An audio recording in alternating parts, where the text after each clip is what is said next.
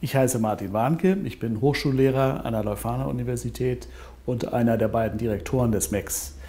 Ich bin von Hause, von Ausbildung her Physiker und mit meinem Wechsel zur Leuphana nach meiner Promotion in die Kulturwissenschaften eingestiegen und in die Informatik. Und deswegen bewegt sich mein Forschungsprojekt auch im Schnittfeld von Physik, Informatik und Kulturwissenschaft. Ganz konkret handelt es sich darum herauszufinden, welche Wissensproduktion stattfindet, indem man in der Physik neben Theorie und Experiment auch Computersimulationen einsetzt.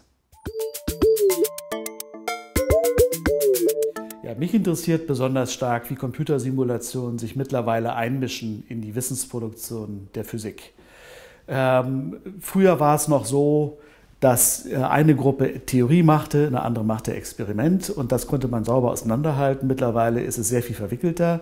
Computersimulationen spielen nämlich in Theorie wie in Experiment eine sehr große Rolle und die Kunst besteht darin, tatsächlich noch auseinanderzuhalten, was eine Naturbeobachtung ist und was Daten sind, die aus dem Computer kommen infolge von Simulationen. Man kann auf die Simulation nicht mehr verzichten. Großforschung wie die am CERN geht ohne solche Simulationen überhaupt nicht mehr. Und mich interessiert halt, mit welchen, in welchen ganz konkreten Verlaufsformen die Menschen, die dort arbeiten, die Physikerinnen und Physiker, äh, ihr Wissen über die Natur produzieren und noch genau unterscheiden können, was äh, Natur und was äh, Computerdaten sind.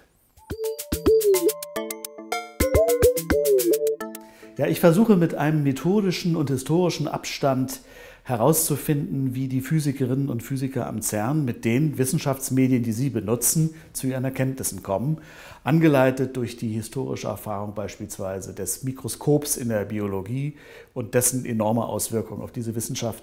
Man braucht dazu allerdings wirklich einen Abstand. Im täglichen Vollzug kann man das nicht und deswegen komme ich als Außenstehender in so eine Einrichtung, mache Interviews, lese die Fachpublikationen und spreche mit den Menschen dort und mit einer Kollegin, die, in, äh, die als Anthropologin ausgebildet ist in diesen Fragen, versuche ich die tägliche Laborpraxis zu untersuchen, die man dort am CERN vorfindet äh, und die Wirkung der Wissenschaftsmedien, die wir dort vorfinden, der Simulation abzuschätzen.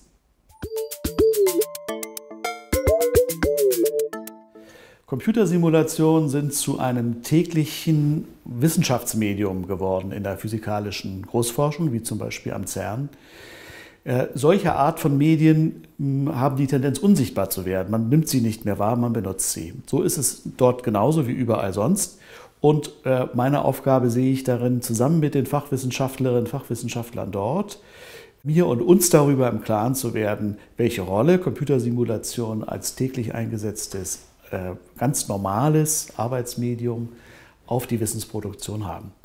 Das fällt mir vielleicht deswegen in manchen Stellen leichter als anderen, weil ich Physik studiert habe und die Fachpublikation lesen kann und auch genauer verstehen kann, welche die innerphysikalischen Strategien sind, um sich dessen zu vergewissern, dass man hier wirklich noch Naturwissenschaft macht und nicht Daten aufsitzt, die aus dem Computer kommen.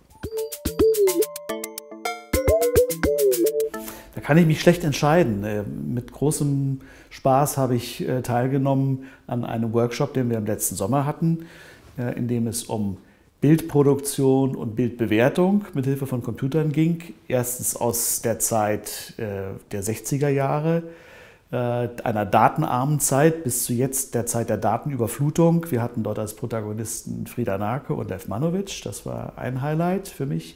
Ein anderes war das über die Schulter gucken bei der täglichen Modellierungsarbeit von Physikerinnen und Physikern am Forschungszentrum Jülich zu Fragen der Quantenphysik. Da war für mich besonders spannend zu sehen, wie im Detail diese Modellierungsarbeit aussieht, welche Überlegungen eine Rolle spielten in der äh, Modellierung und wie die Haltung der Menschen dort zu diesen Fragen ist.